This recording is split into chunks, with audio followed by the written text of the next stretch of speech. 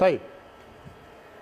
آه موسيماني أعلن قائمة الأهلي لمواجهة بيراميدز. بكرة إن شاء الله تعالى سبعة ونص الأهلي وبيراميدز في الدوري الممتاز. مباراة مرتقبة ومهمة جدا في استاد الدفاع الجوي. الأهلي زي ما شفتوا الفترة الأخيرة حافظ على صدارته للمسابقة. 20 نقطة من 8 مباريات فاز في 6 وتعادل مرتين. بيراميدز في المركز الخامس ب 13 نقطة من 8 مباريات فاز في 3 وتعادل في 4 وخسر مباراة واحدة. إيه القائمه بقى اللي هتخوض مباراة بيراميدز؟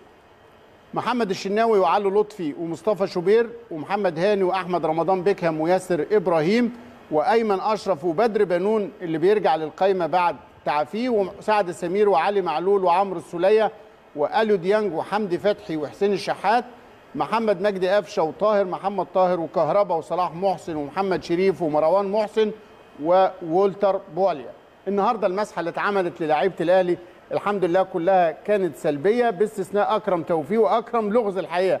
لأنه في البداية كانت positive خد خضع للعزل والعلاج يومين ثلاثة رجعت بقت سلبية رجع يتمرن تاني. النهارده في المسحة ظهرت العينة من جديد إيجابية بعت الجهاز الطبي يعيد له المسحة للتأكد من نتيجة العينة بتاعته. موسيماني عمل محاضرة مع اللعيبة بالفيديو عشان يشرح لهم كل شيء من وجهة نظره فنيا عن فريق بيراميدز.